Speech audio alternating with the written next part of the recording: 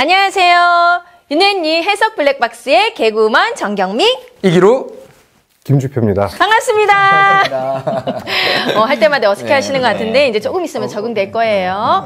자 오늘도 이제 블랙박스 영상을 봐야 되는데 어, 볼 때마다 조금 걱정은 돼요. 음. 어, 어떤 영상이 나올지. 놀라죠? 네. 영상 볼까요? 그래도 한번 오늘 영상 한번 같이 볼까요? 음, 네. 어, 블랙박스 차량이 2차선으로 진행할. 어, 어머, 어머! 뭐야? 어, 지금 이거 어떤 상황? 이게 사람이죠? 어머 이제 다시 한번 좀 천천히 한번 볼게요. 좁은 아니 네. 가운데 길가에서 그냥 넘어졌어요? 누가 민 것도 아니죠? 네. 지나쳐 간 거예요? 넘어갔습니다. 주행이 계속됐죠? 그죠? 역과된 거죠? 어. 어, 이런 뭐 경우 크게 다치셨을 것 같은데 예, 뭐 이명 이, 음, 다치신 정도 어, 이기를 바래봅니다. 예, 음, 네. 예, 예. 음. 자 그러면 얘기를 좀 나눠 보면 네. 어 이런 경우에는 어떻게 해야 됩니까? 이거는 아까 보셨을 때 네. 운전하시는 입장이라 그러면 네. 저렇게 갑자기 쓰러지는 사람을 피할 수 있었을 것 같아요. 어떠세요? 어 특히 밤이고 네. 밤이고 사람이 있는 건 봤을 것 같은데 네. 왜 갑자기 이렇게 이렇게 도로 쪽으로 나온다는 거는 네. 잘못 봤을 것 같아요. 그러니까요. 어. 예.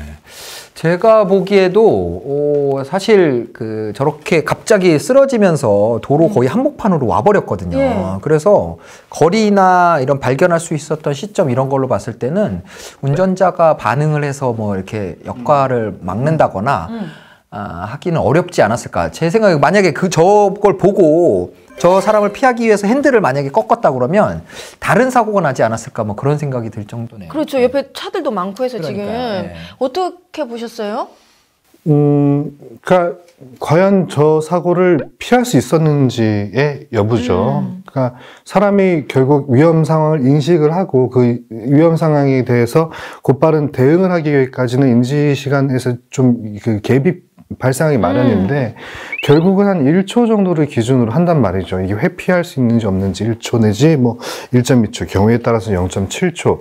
그런데 지금 아까 제가 시간을 유심히 봤는데 저분께서 도로에 나온 것까지 관찰되는 것까지는 그렇다고 쳐요. 근데 그 관찰된 시점으로부터 갑자기 도로에 나올 거라고는 예상을 못 했다는 것을 가정할 때 그 도로에서 나온 것을 관찰하고 충격까지 걸린 시간은 1초 남짓이었던 것 같거든요. 그러면 제 생각에 일단 형사적으로는 면책의 가능성이 매우 높은 사건이라고 음. 생각이 돼요. 가, 차량에. 예. 지금 이렇게 보기에도 나는 네. 잘 안 보이거든요. 음. 뭐가 뭐가 있는지도 잘 안 보이는데. 네. 그러니까요. 뭐 깜- 깜깜할 때 뭐 가로등이 이렇게 뜨- 띄엄띄엄 있기는 한데 네. 실제로 뭐 저기를 운행했을 때 보통 이제 블랙박스가 음. 더 밝거든요. 블랙박스에 야- 잡히는 영상이 어. 눈에 보이는 것보다 야간에는 그래서 아마 운전자 입장에서는 더 발견하기 힘들지 않았을까 네, 뭐 그런 생각이 들고요. 어 뭐 법적인 부분을 좀 생, 뭐 얘기를 해보자면 일단 저분이 어, 운전자는 특별히 운전상에 뭐 문제가 있어 보이진 않아요. 자기 차선으로 갔었고, 어, 속도도 뭐 저기 제한 속도가 얼마인지는 정확히 모르겠지만 한 60km 내외 정도였던 걸로 보여지거든요. 그래서 피해자 그 저 도로에 쓰러지셨던 분이 사망하거나 뭐 중상해에 해당하지 않는다 그러면 일단 형사 입건 사안은 안 될 것 같고요. 근데 만약에 저렇게 됐는데 좀 안 좋게 이렇게 됐어요. 네. 그러면 형사 입건입니까? 네, 형사 입건이 되죠. 중상해나 사망 사고가 됐다 그러면 형사 입건 사안이 되기는 하는데 아까 김준표 변호사님 말씀대로 저 운전자가 저 차, 저 사고를 회피할 수 없었다. 아, 이런 결론이 난다 그러면 어, 형사적으로 과실이 인정되지 않아서 네, 무혐의 또는 무죄 판결을 선고받을 수 있는 가능성이 높아 보이는 그런 사고예요. 네. 저분은 갑자기 이렇게 뭐 불편했거나 아니면 취하신 거 아닐까요? 어, 술에 의해서 지금 저 블랙박스 영상의 시간 표시가 만약에 올바른 것이라면 지금 9시 58분경으로 보이거든요. 10시가 됐네요, 이제. 음, 그죠. 그리고 아까 그 교차로에 이제 진입했을 때 당시에 주변 상황을 보니까 무슨 음. 당구장도 있었던 것 같고요. 예. 주변 통행이 이게 쉽게 이제 예상이 되는 그런 지역이었던 것 같아요. 음. 이런 부분도 이 사건에 대해서는 좀 참작이 돼야 될 것 같습니다. 그럼 뭐, 음, 김 변호사님 민사적으로는 어떻게 예, 생각하세요? 그렇죠. 이제 결국 제가 이제 고민 하 관련하는 부분은 민사 부분인데 형사적으로는 책임이 없다고 하더라도 저 지금 피해자의 피해 정도가 상당할 것으로 예상이 되고 그 부분의 피해는 지금 차량 운전자의 그 차량에 가입된 그 종합보험사로부터 어, 어느 정도의 정보를 받을 수 있을 것으로 보이는데 실은 야간이고 어, 뭐 이런 여러 점을 좀 봤을 때는 글쎄요, 제, 저, 제 적은 경험으로는 저 상황에서 한 2대 8 내지 한 7대 3 정도의 누가 팔이에요? 지금 아무래도 저렇게 갑자기 돌에 네. 쓰러지신 분의 과실이 조금 어, 더 크죠. 어, 어. 그러니까 본인 과실이 조금 많이 인정되더라도 네. 저 상황에서는 그래도 조금 인정받으실 수 있는 부분이 민사적으로 있을 것 같아요. 음. 네.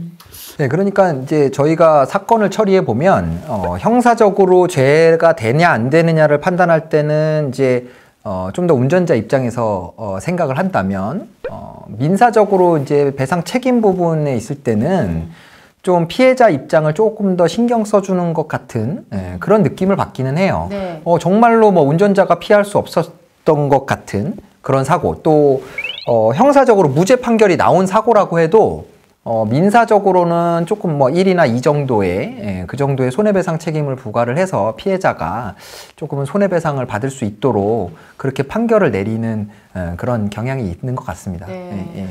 오늘도 이렇게 영상을 보면서 참 운전이 나 혼자 조심한다고. 어. 그리고 또 중요한 게 있어요.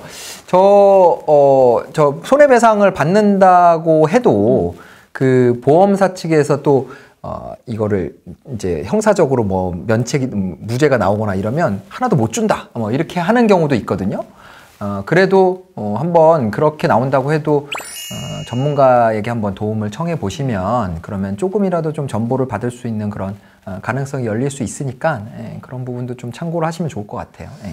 여러분 안전운전 하십시오. 안전운전 해도 이런 일이 일어나니까 늘 운전대 딱 붙잡고 정신 똑바로 차리고 앞뒤 옆에 다 보면서 운전하시기 바랍니다. 혹시나 이렇게 사고가 났는데 너무 당황스러워요. 보상 비율 어떻게 되는지 모르겠어요 하시는 분들은 저희 댓글 남겨주세요. 아니면 뭐 영상 요거 한 번만 봐주세요. 도와주세요. 하고 싶으신 분들은 이메일 나가거든요. 여기에다 영상 보내주시면 됩니다. 다음 시간에 또 다른 영상으로 찾아뵐게요. 감사합니다.